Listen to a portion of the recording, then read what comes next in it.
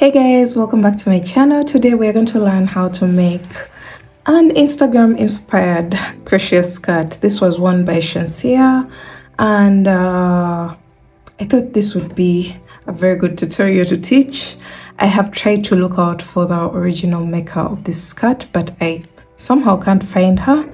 And if you happen to know her please make sure i tag her in this video because she was the inspiration behind this creation this um, design is made of basic stitches of crochet and you can play around with any colors of your choice. I am not trying to steal anyone's design here and i hope um, i've mentioned this. This is not my original design but uh, I saw an inspirational photo and I decided to make a tutorial of it since it had been a request in my Instagram DM for so many people.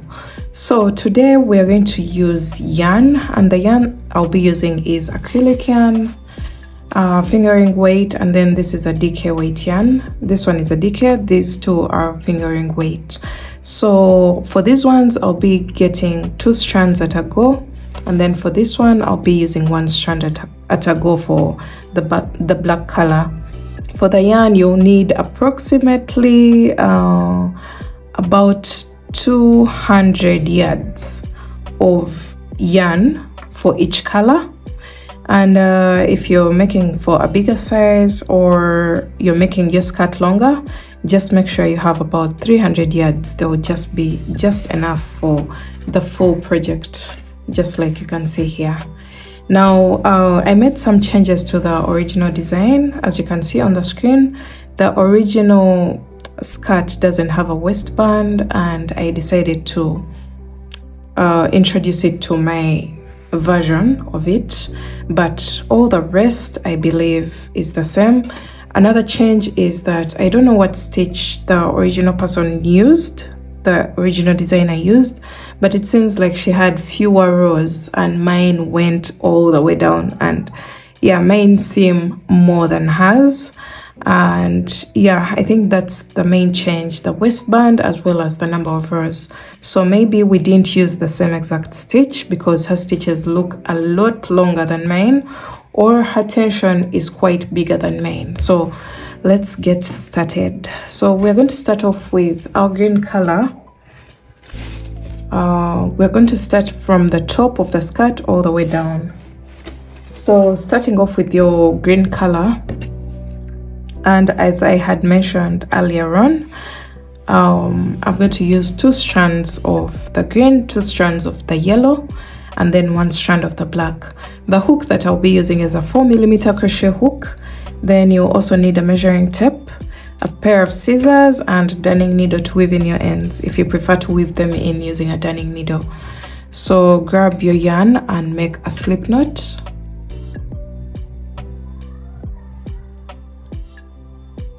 and make a chain that can comfortably go around your hips without overstretching it. Just slightly stretch and make sure this chain can go all the way around your hips. So for me, this was a size medium and I did a total of 120 I advise to do in increases of 10 10 chains. So 120 for medium, 110 for small, 100 for extra small. That means for large, you're going to do a total of 130, then extra large 140 in increases of 10 10. So I'm going to do my 120 chains for my size medium. So one, two, three, four. And make sure you refer to the sizing chart on the screen so that you get um, the rough estimate of where your size falls. And that's the number of chains that you're going to do for yourself.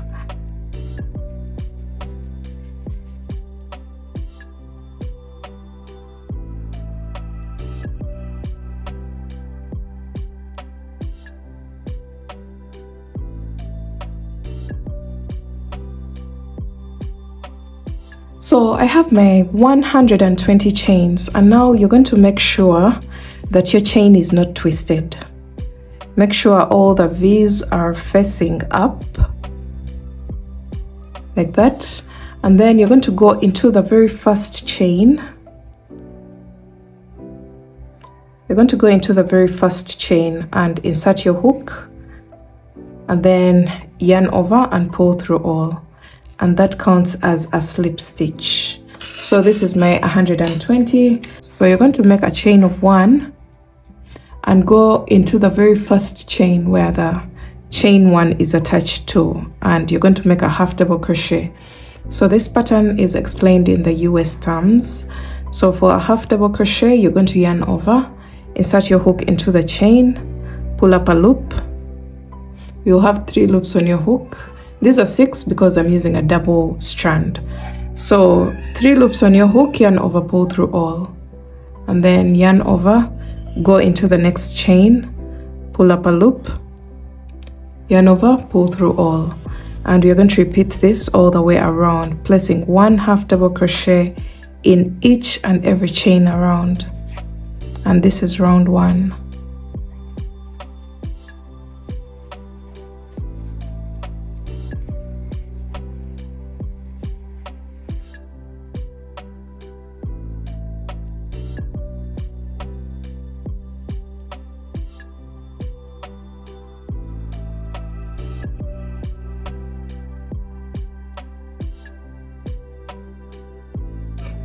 So we're coming to the end of row one or round one and you're going to have to make sure that your work is not twisted. I can't emphasize this enough because uh, the moment you notice that your work is twisted and you're like 10 rows into the project, trust me, you will have to repeat the project from this from the beginning. So make sure your work is not twisted and finish up the very last chains, placing one half double crochet into each until the very last one. And then from here you're going to go on top of the very first half double crochet and insert your hook pull through all. And that's a slip stitch to wind up our very last um, our very first round. So once you make a slip stitch here you're going to chain one get your pair of scissors and cut your yarn leaving a strand behind and then pull through. And then you're going to give that knot a tug just to tighten a little bit. So this is what we have for our round one. Now round two you're going to get your next color. Mine will be yellow.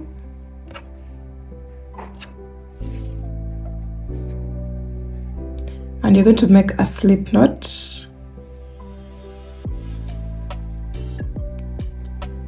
and then you are going to this stitch uh, that we are going to use for this project is worked in between the stitches.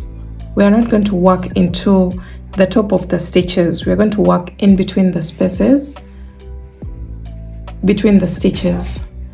So just right before this chain that you've left behind you're going to separate your work and go into the space in between the last two. The first and the last half double crochet. So you're going to attach your yarn there. Just like that. And then you're going to chain one and half double crochet into the same space. And remember for this pattern uh, the chain one doesn't count as a stitch so we've placed one half double crochet into the same space. And then remember the chain one doesn't count as a stitch so this is not a stitch. You're going to skip over the next half double crochet and into the space you're going to place one half double crochet. You're going to go in between the next two half double crochets with one half double crochet. And you're going to repeat this all the way around. Just placing one half double crochet in between each two half double crochets. And this is what your work is going to look like. It will make sense later on. This is the texture that it's going to create as we go along. This is what it will create.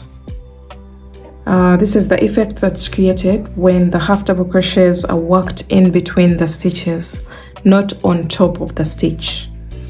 So just keep going all the way around and I'll meet you back towards the end of round two.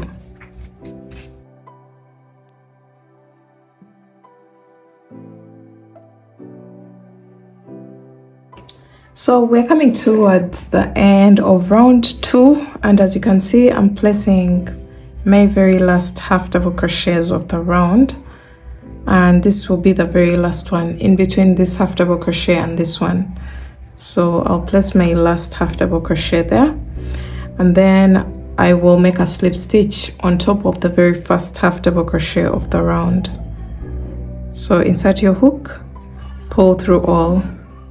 And then you're going to chain one and cut your yarn just like we did for round one. And then pull through and give it a tug. Now there's some few things that you have to notice at this point uh, we are working in the same direction of the previous round. We're not turning our work every other time.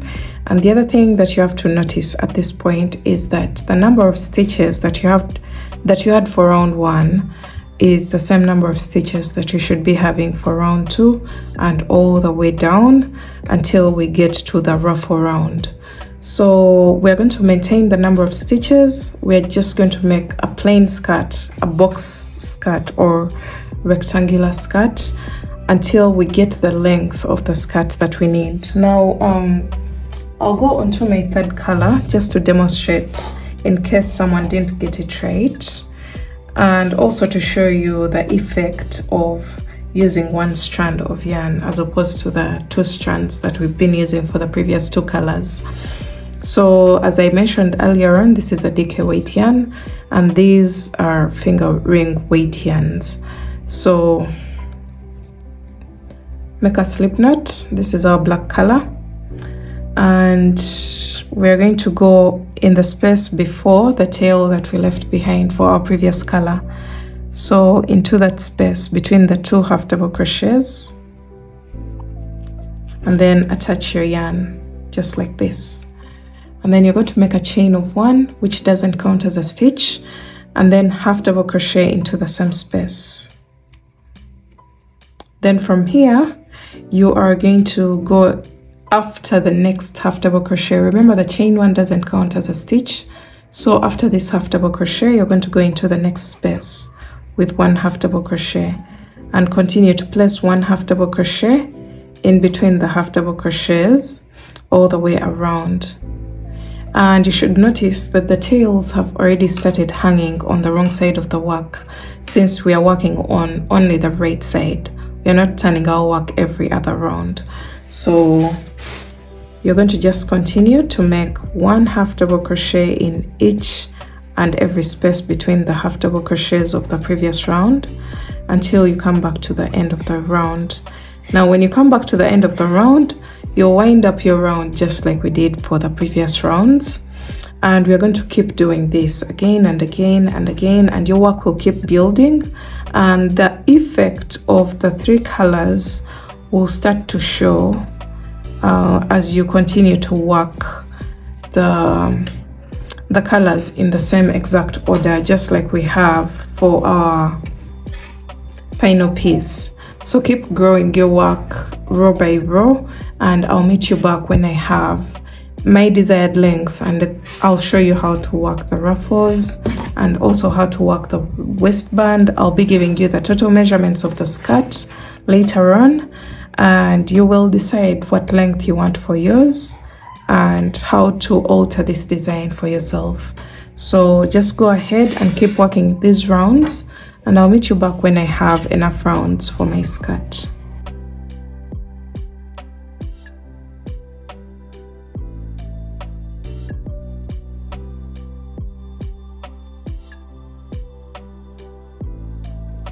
okay guys i went ahead to do a total of 37 rows and i must tell you you have to be very patient with this with this piece because it doesn't build up very fast and it takes some time to get to this level.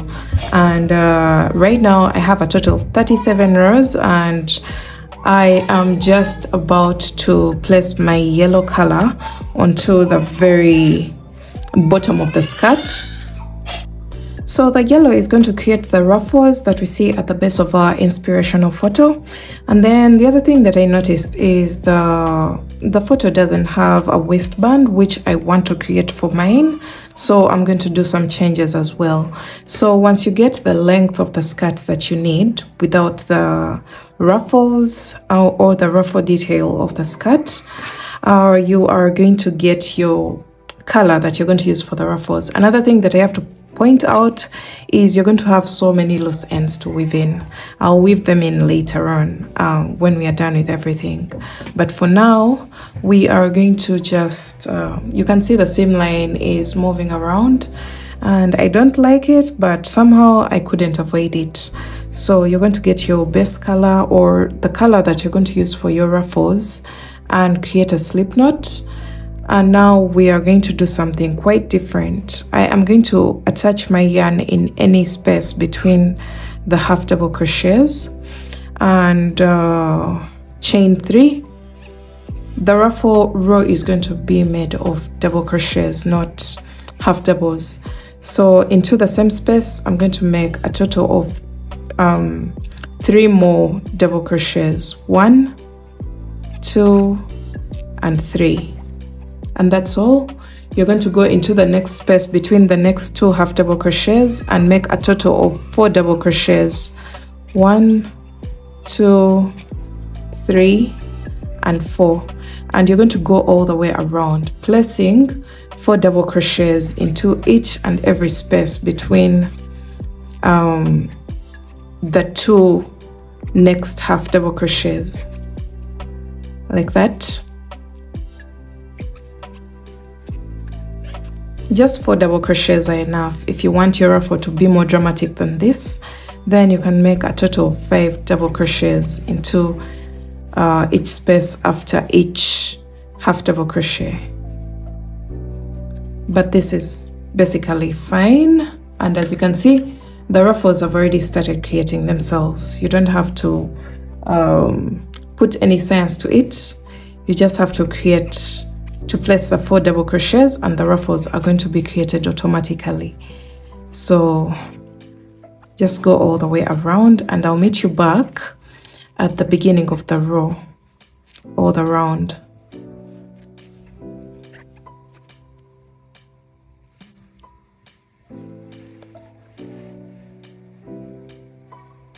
Okay guys, uh, we're coming to the end of our ruffle row all around and oh my god it looks so beautiful.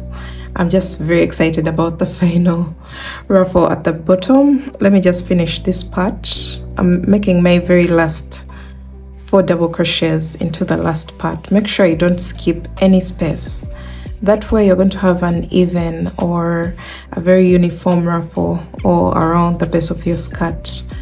So this is my very last double crochet there and then I'll go on top of the very first chain three of the round and place a slip stitch like that. And then chain one and cut my yarn.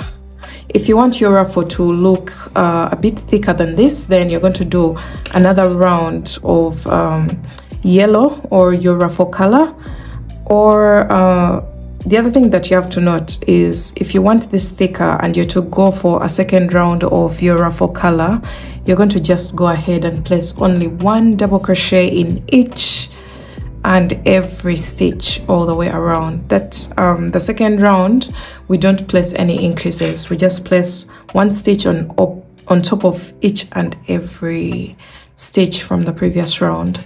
So look what we have guys. This is the moment of truth. Look at how the ruffle has turned out. Very cute, very pretty. And now um, we are going onto the top part of the skirt before we get rid of the loose ends. So you're going to get your yarn. For me, that will be green.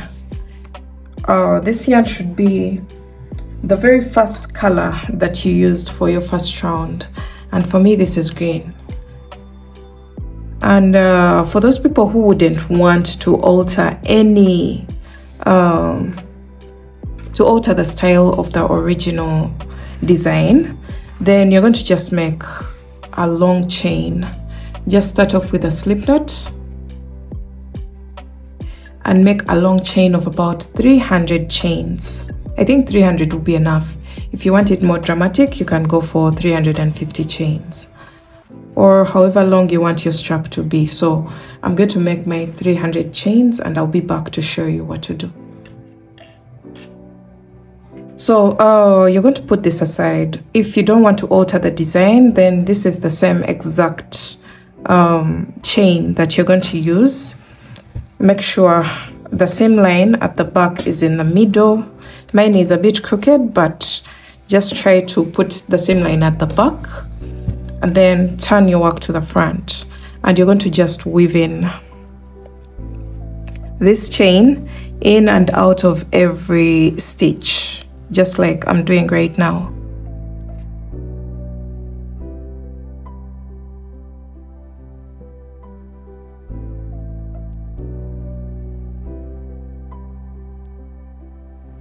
Okay guys, after weaving in your drawstring into the very first round of the of the skirt, this is going to make the waistband adjustable just like this and you can always pull on it in case the waist opening is big or in case it's small you just have to pull it outward so that you can create more room for your body to fit perfectly well into this space so um, this is it for the people who want the same exact design as the inspirational photo. You just tie your knot around here and this is exactly what you'll have.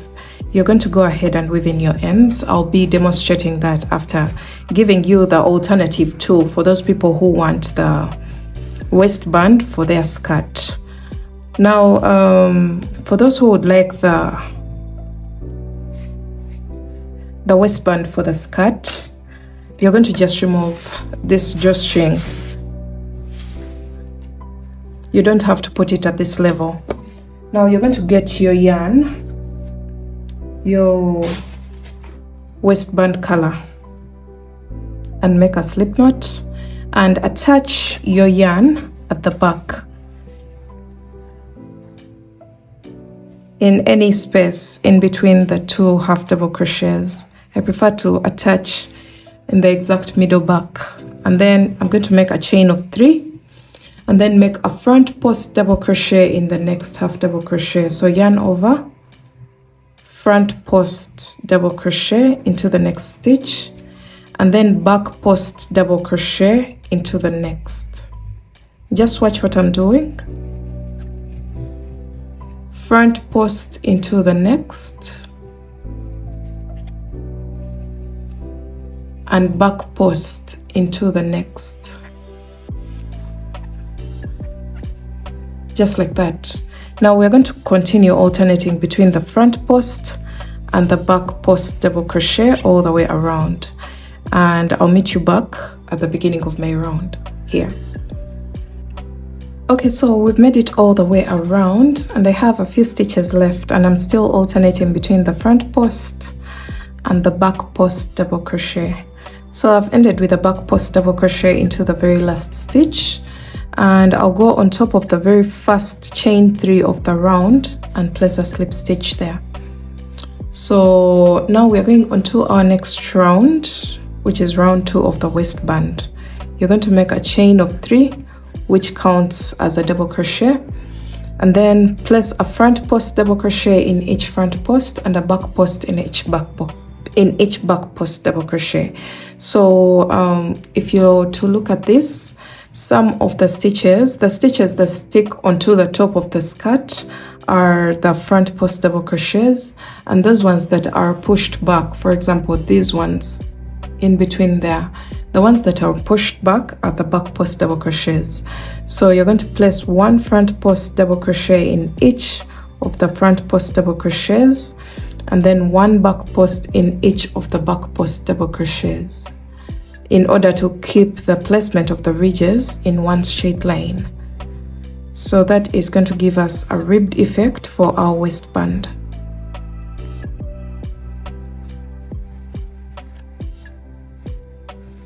So go all the way around doing this and I'll meet you back at the beginning of my round.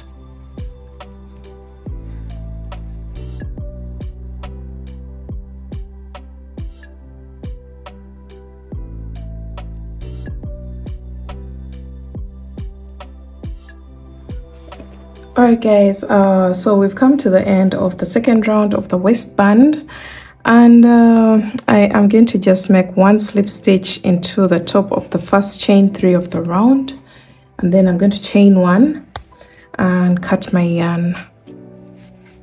So uh, this is what we have for the front part of the skirt. You can see this.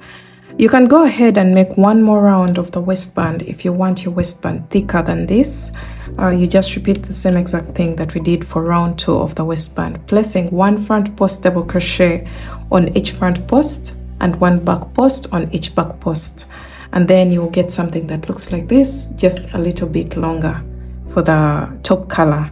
Now we're going to get a drawstring the same exact amount of chains that you did for the version that doesn't have a waistband. And you're going to place your work like this. And you're going to go in and out of every two stitches of the first round of the waistband. So the round below the very final round. So it in and out of every two stitches of the waistband. But we are going into the first round of the waistband. And weaving in our drawstring. And this is what it will create. You can see where the drawstring is passing. So go all the way around weaving in your drawstring until you come back to the exact mid of the skirt where we have this tail hanging here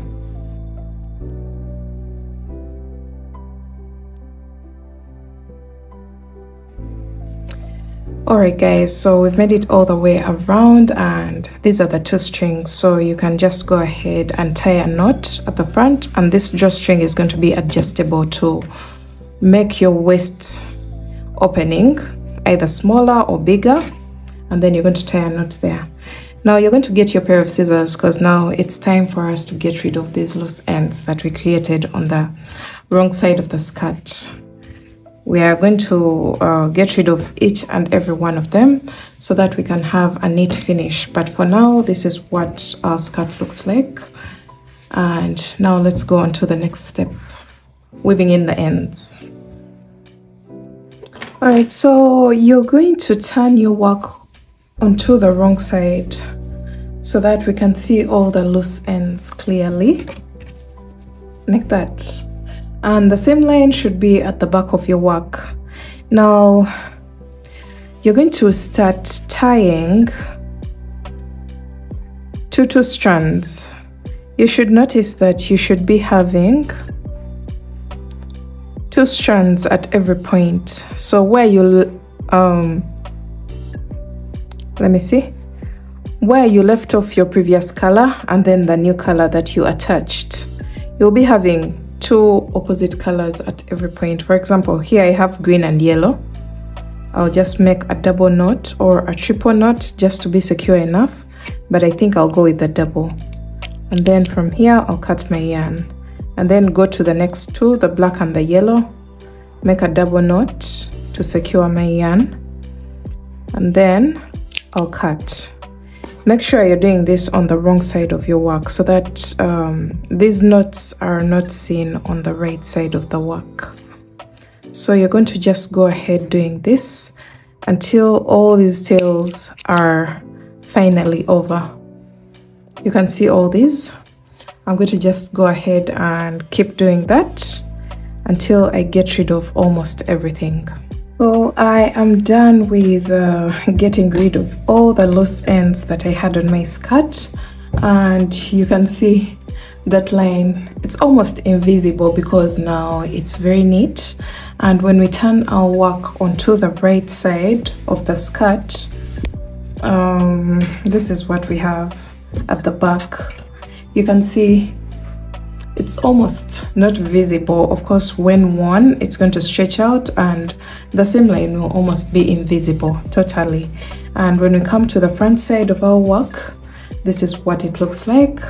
And this is basically it. This is how your skirt will look like. And there you have it. You have your Jamaican striped skirt inspired by Shenseea and I hope you guys enjoyed this tutorial. Make sure you give it a thumbs up if you did and I will see you in my next tutorial. Don't forget to subscribe to the channel. So I'll see you soon in my next video. Bye